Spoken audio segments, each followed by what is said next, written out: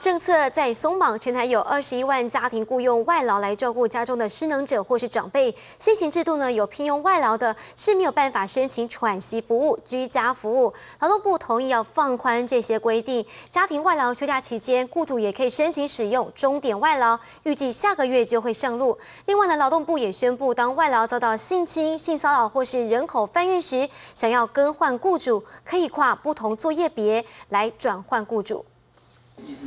外劳遭受性侵害、性骚扰、暴力殴打或被人口贩运等情事，时有所闻。过去规定，若要转换雇主，必须从事同一个工作业别。不过，劳动部决定放宽规定，让这类受害外劳也能够跨类转换雇主，落实保障外劳的相关的人身的权益的部分。我们把这个有这样的案例的情况，把它明文在我们的转换准则里面。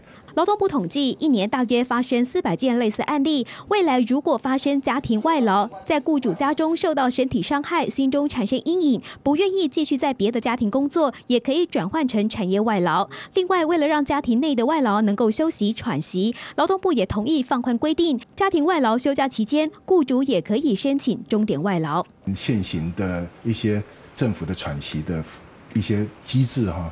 并不没办法照顾到现行的聘雇外籍看护工的家庭，呃，放宽之后，可外劳在休假期间的时候，由外展这边提供相关的喘息服务。